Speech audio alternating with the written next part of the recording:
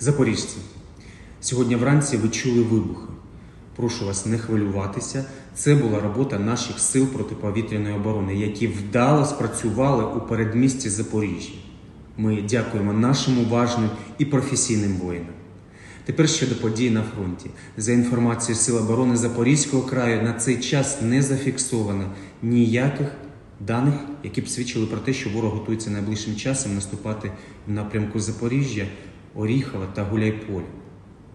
Зараз на усіх рубежах ведуться стримуючі дії. На всій лінії зіткнення відбуваються періодичні артилерійські та мінометні обстріли.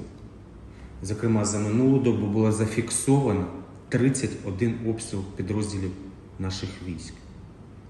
А це і в Гуляйпольському районі, а також в районі села Ком'янське і деяких населених пунктів Пологівського району та ще напрямку Донецької області. Як і раніше, противник продовжує концентруватися на утриманих зайнятих територіях, та там він вдосконалює своє інженерне обладнання та проводить в окремих районах повітряну розвитку. Також є інформація про те, що на Запорізькому напрямку окупанти продовжують перегрупувати свої сили та засоби.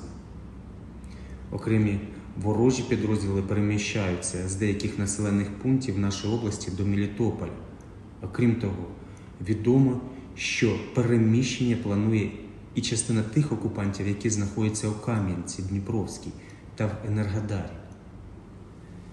У свою чергу, наші воїни дають ворогу міцну відсіч і успішно нищать його живу силу та техніку.